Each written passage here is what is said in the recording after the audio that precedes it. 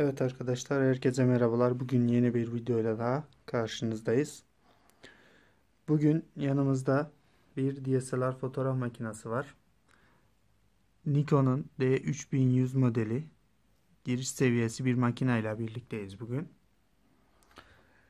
Evet arkadaşlar makineye öncelikle badisine, lensine falan bakmadan önce sizlere teknik özelliklerinden biraz bahsetmek istiyorum. D3100 modeli Nikon'un giriş seviyesi bir makina. 14 megapiksel bir makina. E, DSLR yani profesyonel bir makina. Makinamızın e, çekim modlarında diyafram öncelikli, enstantane öncelikli, sahne seçimleri, otomatik modun, manuel modun bulunduğu bir makina. E, enstantane değeri en düşük 1 bölü 4000 saniye, en yüksek 30 saniyedir.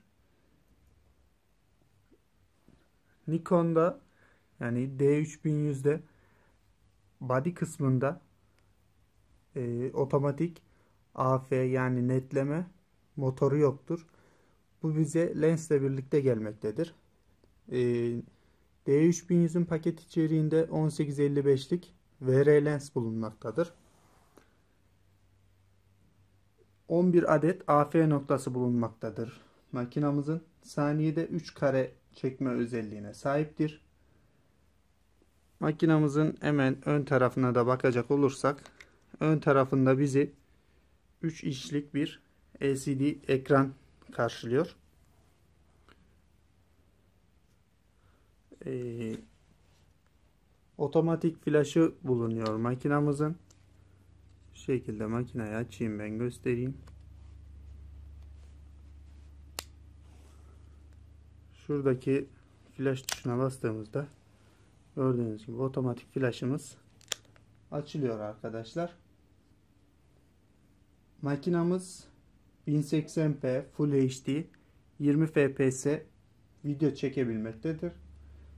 1080p de makina 10 dakika gibi bir video çekme özelliğine sahip.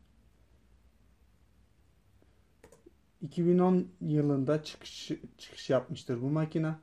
Ee, bunun üzerine tabi 3200, 3300, 3400 seriler de çıkmıştır makinanın. Evet arkadaşlar ee, hemen şurada bağlantı noktalarından da bahsedeyim. USB bağlantısı, mini HDMI bağlantısı, televizyon bağlantılarımızın olduğu kısım bu tarafta. Hemen diğer tarafta ise hafıza kartımızın bulunduğu kısım var. Mikro, micro SD bir hafıza kartı kullanmaktadır makinamız. Hemen alt tarafta şurada görmüş olduğunuz yer makinamızın bataryasının bulunduğu yerdir. Şu şekilde.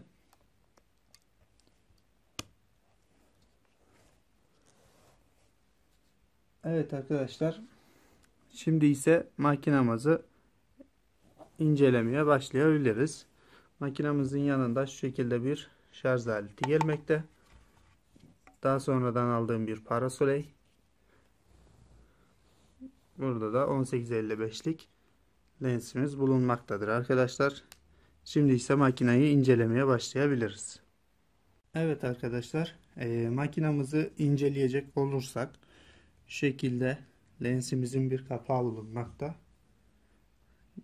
Daha sonradan taktığım UV filtre yani lensimizin ekranını koruması amaçlı sonradan takılabiliyor. Şu şekilde lensimizin arkada bir koruyucu kapağı var. Bunu da çıkartalım. Evet arkadaşlar lensimiz gördüğünüz gibi VR AFS 1855 bir lens. Orijinal paket içeriğinde bulunan lenstir bu. Şimdi makinamızı inceleyecek olursak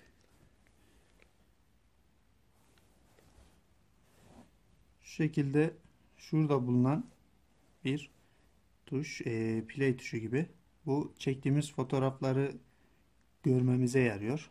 Hemen altında bir menü tuşu var. Ayarlarımızı yaptığımız menü tuşu. Hemen onun altında ise uzaklaştırma, yakınlaştırma yani fotoğraflarımızda çektiğimiz fotoğraflarda uzaklaştırma, yakınlaştırma. Hemen altında ise manuel modda ayarlar arasında geçiş yapabileceğimiz bir tuş bulunuyor arkadaşlar. Hemen sağ tarafta altta ise bir e, silme tuşu. Hemen onun yanında kameramızın hoparlörü, dahili hoparlörü. Üst tarafta ise yön tuşları ve ortasında bir ok tuşu bulunmaktadır. Hemen onun üstünde görmüş olduğunuz kırmızı tuş ise e, video çekme özelliğini sağlıyor.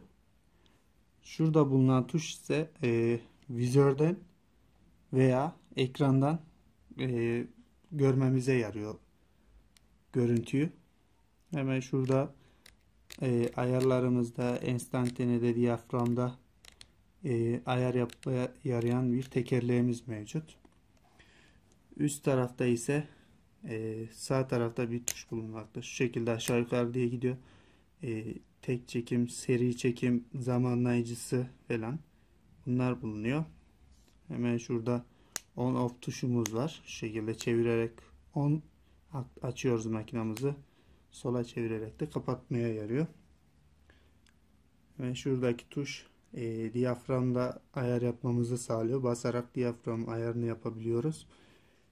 Modlara geçecek olursak M mod anlaşıldığı üzere manuel moddur.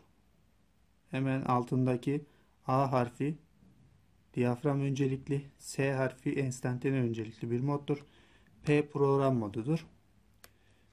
Şu şekilde otomatik modu ve diğer sahne modları işte flashsız çekim, portre, manzara, spor, yakın çekim, gece çekimi gibi sahne modları arasında geçiş yapmamıza yarayan bir tekerleğimiz. Hemen body'mizin arka tarafına geçecek olursak şurada bulunan tuş e, lensimizi sökmeye yarıyor. Buna basarak lensimizi sökebiliyoruz. Body'mizin bir koruyucu kapağı var. Hemen bunu da şu şekilde sağa doğru çevirerek açabiliyoruz. E, lensimizi takarken body'nin üstündeki beyaz nokta ile lensin üzerindeki beyaz nokta karşılıklı gelecek şekilde şöyle sol tarafa doğru çeviriyoruz ve lensimizi oturtuyoruz. Geri sökerken de buna basarak lensi sağ tarafa çevirerek lensimizi sökebiliyoruz. Lensin üzerinde A ve M harfleri var. A, A ve oto ve manuel modlarıdır. E, otomatik netleme, manuel netleme arasında geçiş yapabiliyoruz. VR ise titreşim önleyicidir. E, fotoğraf çekerken ufak titremeleri önlememiz için e, on yaparak aktifleştiriyoruz. Off yaparak da bu özelliği devre dışı bırakabiliyoruz arkadaşlar. Hemen şu şekilde makinamızı açalım. Ekranı bu şekilde parlamasını engelleyeyim ekranın.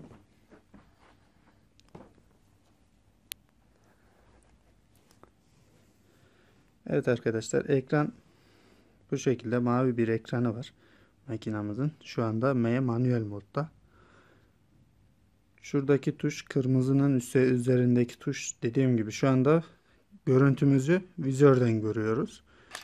Bunu bir kere çevirerek şu an görüntümüzü LCD ekrandan görebiliyoruz arkadaşlar. Hemen şurada kırmızı tuşa bir kere basarak gördüğünüz gibi videomuz yani e, kameramızın video kayıt özelliği aktif hale geldi. Şu şekilde yakınlaştırarak lensimizle oynayarak uzaklaştırıp yakınlaştırabiliyoruz. Buna bir kere bastığımızda video çekimini sonlandırıyoruz. Ee, şu anda manuel modda ve şu oynadığımız değer düşüp çıkan değer enstantane değeridir. Şurada yukarıdaki gösterdiğim tuşta diyafram ayarını yaptığımız tuşta ise basarak Şu şekilde diyaframı da kendimize göre ayarlayabiliyoruz arkadaşlar. Hemen şurada bulunan tuş diğer ayarlar arasında geçiş yapmamızı sağlıyor demiştim. Ee, şu anda ISO değerinde ISO'yu istediğimiz gibi kendimize göre ayarlıyoruz arkadaşlar. Böyle 100'den 3200'e kadar ISO değeri bulunmaktadır. Diğer ayarlar AF otomatik netleme işte bu şekilde yön tuşlarıyla da ayarlar arasında geçiş yapabiliyoruz arkadaşlar. Evet makinamızla ilgili anlatacaklarımız bundan ibaret. Şekilde modlar arasında geçiş yapabiliyoruz. Burada bizlere bir kullanım kılavuzu gibi bir kolaylık var. Şu şekilde otomatik modumuz aktif. Otomatik modda flash'ımızı açtı. Netlemesini yaptı. Ve çekimini yaptı. Gördüğünüz gibi şu anda makinamızın içerisinde 140 tane fotoğraf var. Video var. Şu şekilde çektiğim bazı fotoğraf videolardan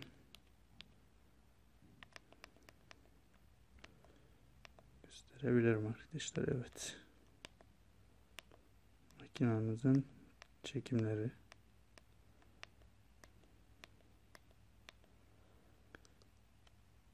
Evet arkadaşlar makinamızın hakkında anlatacaklarım bundan ibaret. Yeni başlayan arkadaşlar için kullanımı oldukça kolay. Basit bir makina. Yani herkes kullanabilir makinamızı. Kolaylaştırılmış bir makina. Ayarları da istediğiniz gibi kendinize göre ayarlayabilirsiniz. Videomuzu beğendiyseniz beğenmeyi Kanalımıza abone değilseniz eğer abone olmayı unutmayın arkadaşlar.